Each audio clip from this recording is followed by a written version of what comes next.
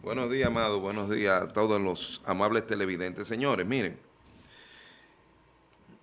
luego del trastorno sufrido por el sistema electoral del 15 de febrero, del 16 de febrero, se, se ha generado un movimiento social que muy particular, de forma paralela al sistema de partido que hemos estado ejercitando nuestros ideales y, fórmulas de campaña, surgió espontáneamente un movimiento social apartidista, así lo han definido. De hecho, muy eh, firme se hacía mención de que los partidos y políticos no debían de participar porque se trataba de una voluntad y un esfuerzo ciudadano indignado por lo sucedido con las elecciones municipales que, bueno, dieron al traste y, bueno, al desenvolvimiento de ellas y que se ha planificado para el 15 de este mes. Nosotros estamos a día nueva vez para las elecciones y vemos como un ambiente de, eh, de inercia, como de, invernadero, eh, como dice Carolina. De invernación pero el movimiento social hizo referencia a sus ideales. El 27 de febrero, paralelamente, se hacía o se daba cumplimiento por parte del gobierno a su mandato constitucional de dar cuentas, de dar cuentas al país de las realizaciones o de la ejecución del 2019. Obviamente que era, era imposible evitar que el presidente hiciera eh, un uso real y adecuado sin que tuviera que caer en el interregno de plantear lo que ha sido su gobierno, no del 2019, que era lo que correspondía, sino desde el 2012 a la fecha. Lo que ha traído consigo también una serie de memes y, hablan hasta de Danilo y el País de las Maravillas, donde se hablaron de inauguraciones de obras que solamente que no se lo indiquen personas de buena fe le pueden decir al presidente que están presta en los próximos días a inaugurar. Todo eso es parte de esta realidad que está viviendo la nación dominicana y conjuntamente y paralelamente al movimiento social que se ha generado por indignación y exigiendo a la Junta, al gobierno, a los políticos, que hayan elecciones, pero que hayan elecciones sin traumas. Y es lo que a nosotros nos preocupa como político, como candidato a la regiduría por San Francisco de Macorís, conjuntamente con Emmanuel Trinidad, la Fuerza del Pueblo, Partido Reformista, quien es la base o quien nos personifica en San Francisco de Macorís. Pero hay algo que quiero observar y me preocupa, que dentro del, del proceso de, de levantamiento de la voz del pueblo, tiende a distanciarse o tratan de distanciarse de los políticos o de los partidos, ese grupo importante de ciudadanos. Y a mí me preocupó en este sentido. Si ese mismo grupo de ciudadanos reniega a los partidos y a los políticos y quiere cambios,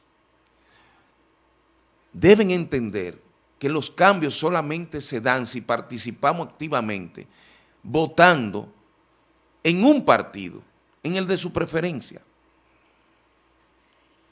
De no hacerlo, se abstienen y no votan, solo favorece al que gobierna y deteriora cada vez más el sistema de partido y la oportunidad democrática de votar, de elegir y ser elegido. ¿Se entiende eso? Claro. Porque una cosa es que usted critique el comportamiento que hemos tenido los políticos a través del tiempo, pero nadie puede negar que aquí hay muy definido candidatos con características viables para hacer o asumir puestos, desde regidores, alcaldes, hasta senadores, diputados y, y presidentes de la República. Y así es que está conformado el sistema de partido. Sistema de partido que aunque estamos conscientes de que hemos sido culpables, de que hoy la gente desconfíe, de que hoy la gente no se, no se sienta cómoda, pero no menos cierto que allí descansan las bases y las oportunidades de producir los cambios. Hago este comentario para advertirle a aquellos que se han eh, insertado en el movimiento queriendo ser distante, no hay manera de hacer cambio en la vida política de una nación democrática, de Estado social democrático de derecho, si no se participa y si no se vota. Por lo tanto, dentro de esa, ese repudio, ese rechazo al mal comportamiento de los políticos, pero sobre todo, en este caso, del gobierno y de la Junta. De esa misma forma tiene que existir la conciencia, la intención de que el próximo 15 de marzo salgamos como salimos el 16, con entusiasmo, a cumplir nuestro derecho, nuestro deber de votar Vamos a una llamada, vamos a permitirle una llamada. Buenos días. Buen día. Aló, buenos días. Buen día. Le habla niño de aquí, de Pimentel. Pimentel. Saludos. Yo quería que alguno de ustedes, como le he pedido varias veces, venga aquí a Pimentel para que vea el cambio que ha dado Pimentel. Cómo nos ha puesto el gobierno a nosotros a vivir en lo limpio. Y que vean cómo está este pueblo, la cara de este pueblo ahora, después que se está faltando, que va más de la mitad. No se puede estar vociferando cosas que no son. El gobierno hace lo de ellos. Y desde que uno llama a un programa, dicen que uno tiene sueldo, que uno esto, yo nunca he cobrado un centavo. Bien, niño. Lo que pasa es que usted eh, parece ser que quiere hacer un esfuerzo muy grande de, reconocerle eh, cómo el gobierno está haciendo. Pero usted no se ha puesto a pensar si el gobierno tiene el deber de hacer eso. Y que usted ahora lo está agradeciendo como si fuera un favor, arrodillado. Es la única diferencia, niño. Es decir, que nosotros tenemos que con, con, contar con, un, con, un, con una conciencia plena de ciudadanía. Y quiero decirle que de este periodo, de hoy en adelante, hay abierta la campaña para las elecciones municipales. Elecciones que debemos de apoyar, de levantarnos y de ir masivamente este próximo 15 de marzo y darle, y darle muestra a los políticos, a todos nosotros, de cómo un pueblo, cuando decide, lo hace.